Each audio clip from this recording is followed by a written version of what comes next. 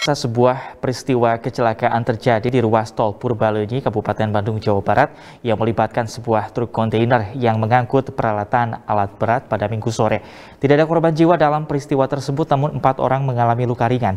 Akibat kejadian kecelakaan tersebut, arus lalu lintas mengalami kemacetan hingga 7 kilometer.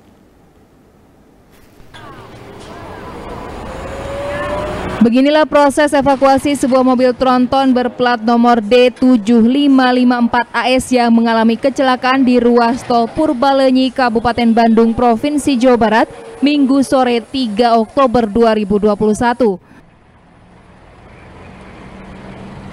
Peristiwa kecelakaan ini bermula ketika mobil kontainer yang melaju dari arah Jakarta menuju Bandung melewati kilometer 133.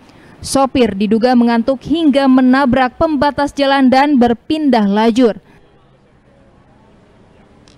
Mobil kontainer ini sempat menabrak tiga unit mobil minibus hingga menimbulkan empat orang mengalami luka berat. Keempat korban tersebut kemudian dilarikan oleh petugas ke Rumah Sakit Santosa Bandung.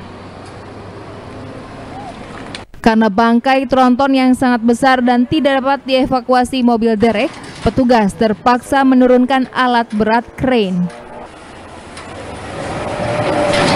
Akibat peristiwa tersebut, arus lalu lintas dari arah Cilenyi menuju Jakarta dan sebaliknya sempat terganggu dan mengakibatkan kemacetan hingga mencapai 7 km. Untuk sementara ini kronologinya mungkin dari arah jalur lambat uh, mungkin supir mengantuk dibanting ke arah kanan hingga masuk ke jalur Bandung.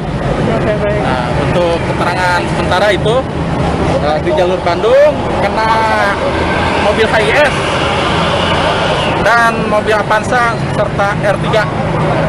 Korban Pak?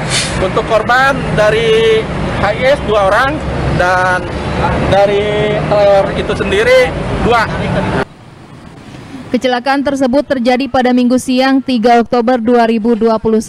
Namun karena kesulitan dan kendala yang dihadapi, mobil baru bisa dievakuasi setelah 4 jam karena menunggu mobil crane dan mobil derek sampai di lokasi kejadian.